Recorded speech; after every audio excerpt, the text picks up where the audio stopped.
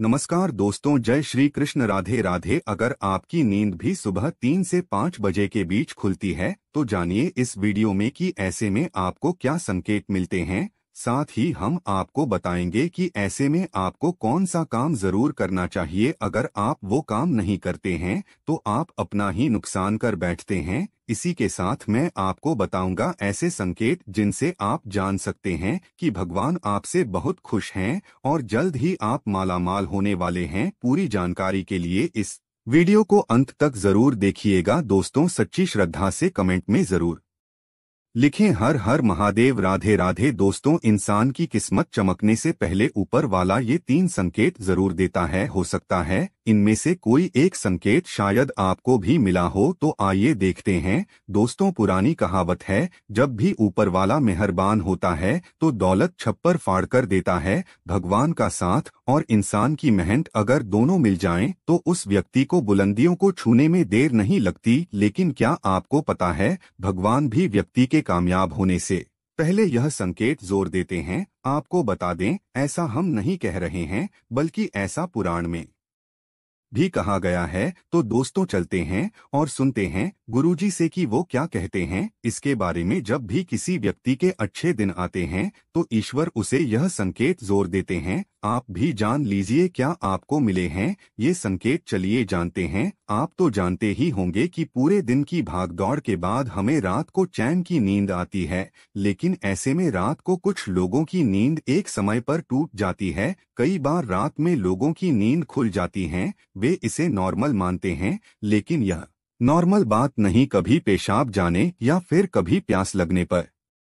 नींद टूटना आम बात है, इस तरह की नींद खुलना कोई चिंता की बात नहीं है, लेकिन अगर रोज़ाना रात में एक ही समय पर आपकी आँख खुलती है तो इसकी कुछ वजह हो सकती है। रात 11 से 1 बजे के बीच आँख का खुलना यदि आप रात्रि 11 से 1 बजे के बीच में अचानक सोते हुए उठ जाते हैं तो आप किसी बात को लेकर बहुत ज़्यादा परेशान है। ऐसे में आप गायत्री मंत्र का जाप करें। अगर रात बारह से दो के बीच खुलती है आपकी नींद तो यह व्यक्ति के गुस्से की ओर संकेत करता है, इस समस्या से निजात पाने के लिए आप ठंडा पानी पी लें और ऐसी समस्या से निपटने के लिए आप सोने से पहले अपने हाथ पैर धो लें, ऐसा नियमित करने से आपको सकारात्मक परिणाम मिलेंगे। लेकिन जिन लोगों की नींद रात तीन से पाँच बजे के बीच खुलती है तो इसका मतलब क्या होता है, चलिए जानते हैं। लेकिन दोस्तों, इससे पहले आपसे रिक्वेस्ट है कि वीडियो को लाइक करें, अपने दोस्तों के साथ शेयर करें, और अगर आपने अभी तक चैनल धर्मलोक को सब्सक्राइब नहीं किया है तो सब्सक्राइब करके बेल आइकन ज़रूर प्रेस करें। दोस्तों, उससे पहले हम। लोग यह जान लेते हैं कि जब भी किसी व्यक्ति के अच्छे दिन आते हैं तो ईश्वर उसे यह संकेत ज़ोर देते हैं। आप भी जान लीजिए क्या आपको मिले हैं। यह संकेत चलिए जानते हैं। दोस्तों, नंबर एक, अगर किसी व्यक्ति की नींद अचानक से बार बार रात में तीन बजे के बाद खुलती है तो इसे मामूली बात ना समझे। यह संकेत बहुत ही शुभ माना जाता है। ऐसा माना जाता है कि रात के तीन बजे के बाद देवी देवताओं की शक्तियाँ जागृत हो जाती है, जो आपसे बहुत कुछ कहना चाहती है। ऐसे में आपका बार बार तीन बजे के बाद उठना कामयाब होने का संकेत है, वही रात के तीन बजे के बाद देवी देवताओं से मांगा हुआ वरदान कभी भी खाली नहीं जाता ईश्वर आपकी प्रार्थना अवश्य सुनते हैं, लेकिन दोस्तों, जब भी अगर आपकी आँख तीन से पाँच बजे के बीच खुलती है तो आपको यह काम ज़ोर कर लेना चाहिए जो स्वयं ईश्वर आपसे चाहते हैं। अगर आप ऐसा नहीं करते तो आपको शुभ फल की प्राप्ति नहीं होती। क्या है, वह काम हम आगे वीडियो में बताएँगे, लेकिन उससे पहले चलिए जान लेते हैं कि ऐसे ही और संकेत क्या है। दोस्तों, आगे बढ़ते हैं। नंबर दो, अगर आपको आपके सपने में ऊँचे ऊँचे पर्वत दिखाई देते हैं और वहाँ से बहता हुआ झरना आपको दिखाई देता है और इस जल को आप पी लेते हैं तो निश्चित तौर पर आपको कामयाबी अवश्य प्राप्त होती है। और इस संकेत का मतलब है कि खुद ईश्वर आपको आशीर्वाद दे रहे हैं। नंबर तीन, दोस्तों, शास्त्रों के अनुसार अगर आपके सपनों में देवी देवता दिखाई देते हैं तो यह बहुत ही ज़्यादा शुभ माना जाता है। ऐसा माना जाता है कि सपने में देवी देवताओं का आना अत्यंत लाभकारी है। सपनों में देवी देवताओं का आना एक पवित्र व्यक्ति होने का संकेत देता है। ऐसे व्यक्ति को कामयाबी चुटकी भर में मिल जाती है, लेकिन ऐसे सपने कभी भी किसी के साथ आपको शेयर नहीं करने चाहिए। नंबर चार पूर्वाभास अगर आपको आने वाली घटनाओं का पहले ही आभास हो जाता है तो आप समझ जाइए कि दैवीय शक्तियों की आप पर कृपा है। नंबर पाँच, पारिवारिक प्रेम आपकी पत्नी, बेटा, बेटी और आपके सभी परिजन आपकी आज्ञा का पालन कर रहे हैं, वह सभी आपसे प्यार करते हैं और आप भी उससे प्यार कर रही है तो आप समझ जाइए कि दैवीय शक्तियाँ शिव प्रसन्न हैं। नंबर छह, भाग्य से भी तेज दोस्तों जीवन में आपको अचानक से लाभ प्राप्त हो जाता है। आपके किसी भी कार्य में किसी भी प्रकार की आपको कोई बाधा बाधा उत्पन्न नहीं होती और सभी कुछ आपको बहुत आसानी से मिल जाता है तो आप समझ जाइए कि दैवीय शक्तियाँ आपकी मदद कर रही है। दोस्तों, नंबर सात सुगंधित वातावरण का है। अगर कभी कभी आपको यह महसूस होता है कि मेरे आसपास कोई है, या आपको बिना किसी कारण ही आसपास सुगंध का एहसास हो तो समझ जाइए कि दैवीय शक्ति आपके आसपास ही है, और आपकी मदद करना चाहती है। नंबर आठ, सुहानी हवा, आप पूजा। कर रहे हैं और अगर आपको लगे कि अचानक सुहानी हवा का झोंका आया है या शरीर में कुछ अचानक दर्द रहता प्रभाव महसूस हुआ हो, जो कि पहले कभी भी ना हुआ हो तो समझ जाइए कि देवी या देवता आप पर प्रसन्न है। दोस्तों, नंबर नौ, ठंडी हवा का घेरा भूमि पर भी रहते हुए कभी कभी आपको यह एहसास हो कि मेरे आसपास बादल या ठंडी हवा का एक गूंज है, जिसने मुझे घेरा हुआ है तो आप समझ जाइए कि दिव्य शक्तियों ने आपको घेरा हुआ है। ऐसा अक्सर बहुत ज़्यादा पूजा पाठ करने वाले व्यक्तियों के साथ होता है। दोस्तों, नंबर दस, रोशनी का कुंज अचानक ही आप आपको तेज रोशनी का कुंज दिखाई दे जिसकी आप कल्पना भी नहीं कर सकते या आपको अचानक ही कानों में मधुर संगीत सुनाई दे और आप आश्चर्य में रह जाए कि यहाँ आज तो कोई संगीत वजह नहीं रहा, फिर भी वह आपके कानों में सीटी बजने की तरह सुनाई दे तो आप समझ जाइए कि दैवीय शक्तियाँ आपके आस पास ही है।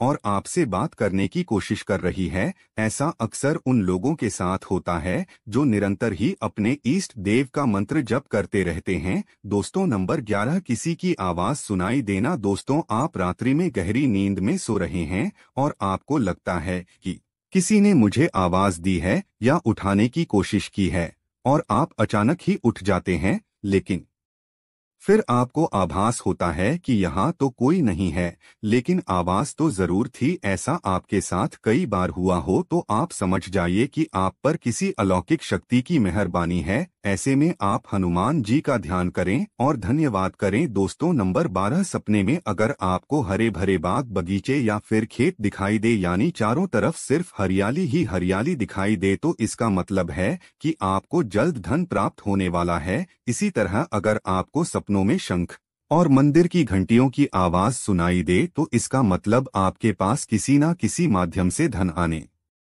वाला है दोस्तों नंबर तेरह, सपने में उल्लू देखना भी धन की प्राप्ति का संकेत माना जाता है। सपने में लाल साड़ी वाली महिला पूर्ण श्रृंगार करें दिखाई दे तो इसका मतलब है कि आपको लक्ष्मी माँ ने दर्शन दिए हैं, जिससे आपकी आर्थिक स्थिति जल्द अच्छी होने का संकेत है। क्योंकि जब स्वयं माता लक्ष्मी आपके सपने में आ गई है तो अब आपके घर में भी जल्दी ही वहाँ आगमन करेंगी। सपने में गन्ने को देखना भी पैसों के आने का संकेत माना जाता है, अगर सपने में सफ़ेद या फिर सुनहरे रंग के सांप को देखा है तो इसका मतलब है कि आपको जल्द ही धन की प्राप्ति होगी। दोस्तों, नंबर चौदह, सपने में अपने आप को घोड़े पर चढ़ते देखना मतलब आपको कोई नया काम मिल सकता है, जिससे आपको अच्छा खासा लाभ प्राप्त होगा। नौकरी वालों को यह सपना आए तो इसका अर्थ है, आपकी उन्नति होगी। अगर आप सपने में काले बादल देखते हैं, साथ ही बारिश भी देखें तो इसका मतलब आप जिस भी चीज़ में निवेश कर रहे हैं, वहाँ आपको लाभ मिलने वाला है। सपने में पान खाना सुख समृद्धि आने का सूचक है।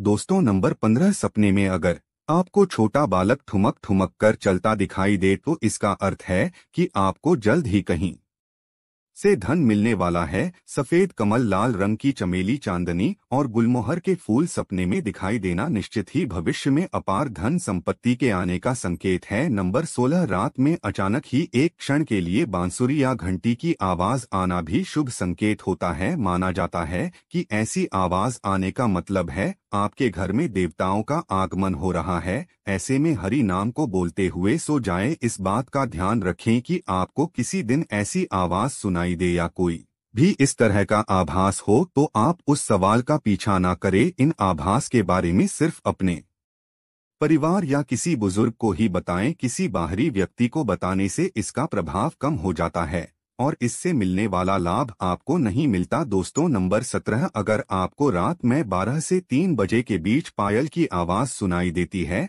तो यह बहुत ही ज़्यादा शुभ संकेत है। ऐसे में आपको डरना नहीं चाहिए। कई लोग इसे नकारात्मक शक्तियों से जोड़कर घबरा जाते हैं और उठकर घर में लाइट जला देते हैं, लेकिन ऐसा करने की कोई ज़रूरत नहीं है। अगर आपको ऐसे आवाज़ सुनाई देती है तो यह नकारात्मक शक्तियों का संकेत नहीं है, इस समय अगर पायल की चलने की आवाज़ आ रही है तो इसका मतलब है कि आपके घर में माता लक्ष्मी का आगमन हो रहा है। ऐसे में आप उस समय भयभीत होने की बजाय प्रसन्न हो जाइए और मन में माता लक्ष्मी का ध्यान करके इच्छा ज़ाहिर करके सो जाइए। दोस्तों के यहाँ है वह संकेत हैं, जिनसे आप जान सकते हैं कि ईश्वर आपसे बहुत ही प्रसन्न है, जल्द ही आपको मालामाल करने वाले हैं। चलिए अब जानते हैं कि कौन सा है वह काम जो आपको तब करना है, जब अगर आपकी नींद तीन से पाँच बजे के बीच खुलती है।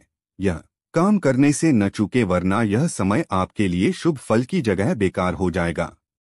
दोस्तों, ऐसे में आपको उसी समय उठ जाना चाहिए, आपको दोबारा सोना नहीं चाहिए, यह गलती बिल्कुल भी ना करें, आपको उठकर स्नान करके नित्य कर्मों से निवृत्त होकर भगवान का ध्यान करना चाहिए, पूजा पाठ करना चाहिए, क्योंकि ऐसा करने से आपको सुख और शांति मिलती है। और इच्छा पूर्ति का वरदान भी मिलता है। दोस्तों, अगर वीडियो अच्छा लगा हो तो चैनल को सब्सक्राइब करके कमेंट में हर हर महादेव लिखें।